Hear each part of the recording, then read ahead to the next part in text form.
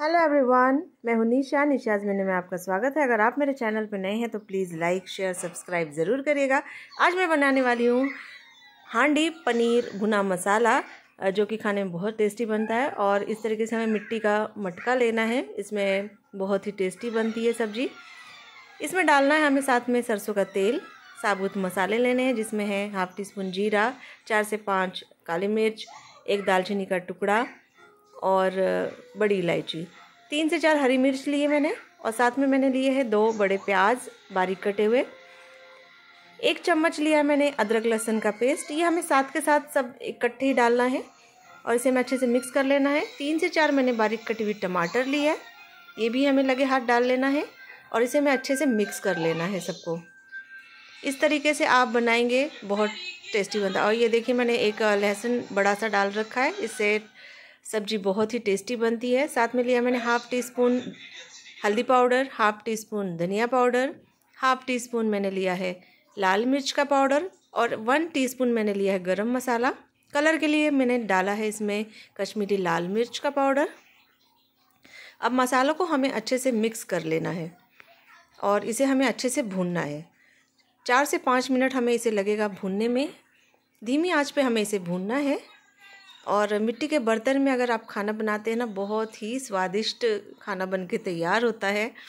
और ये देखिए इसे, अब ये ढक्कन भी मुझे साथ में मिला था मटके के, और इसी के साथ इसे ढक्के में पकाऊँगी दो से तीन मिनट। और ये देखिए, मसाला हमारा बन के तैयार है। टमाटर अच्छे से मैश हो चुके हैं। अब हमें डालना है पानी। अपने हिसाब से डालेंगे पानी, जैसे भी आपको कम ज़्यादा ग्रेवी जैसे भी लगती हो। और इसे हमें अभी अच्छे से उबालना है। और ये देखिए, सब्ज़ी का कलर कितना अच्छे से दिख रहा है और इसे हमें बीच बीच में इसी तरीके से चलाते रहना है। और देखिए, सब्ज़ी हमारी अच्छे से उबल रही है।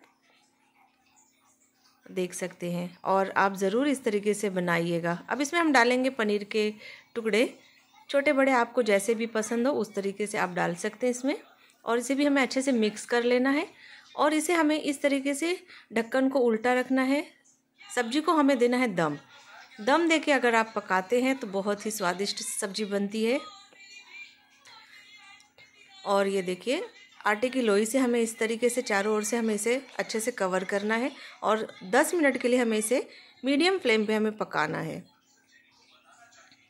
और देखिए 10 मिनट हमारे हो चुके हैं तो चलिए हम चेक करते हैं इसे। और खुशबू इतनी अच्छी आ रही है फ्रेंड्स, इसको हटाने के बाद मैं आपको बिल्कुल भी बता नहीं सकती इतनी लाजवाब सब्ज़ी बन के मुँह में एकदम पानी आ रहा है। और अभी थोड़ी सी ग्रेवी बाकी है तो मैं थोड़ा सा इसे और पकाऊँगी पाँच मिनट। और ये देखिए, सब्ज़ी बन गई है हमारी। धनिए से मैं इसे गार्निश करूँगी अच्छे से। धनिए से फ्लेवर सब्ज़ी का बहुत अच्छा आता है। और ये देखिए, देसी स्टाइल हमारा मटका भुना पनीर मसाला बन के तैयार हो चुका है। लुक एट दिस फ्रेंड्स इसे आप रोटी के साथ, चावल के साथ आप इन्जॉय करिएगा। और फैमिली और फ्रेंड्स के साथ एंजॉय करिए। आई होप आपको मेरी ये रेसिपी पसंद आई होगी। तो friends please like share subscribe ज़रूर करिएगा। तब तक के लिए फिर मिलती हूँ नई रेसिपी के साथ। तब तक खुश रहिए, मस्त रहिए और सबसे इंपॉर्टेंट खाते रहिए। Till then take care bye bye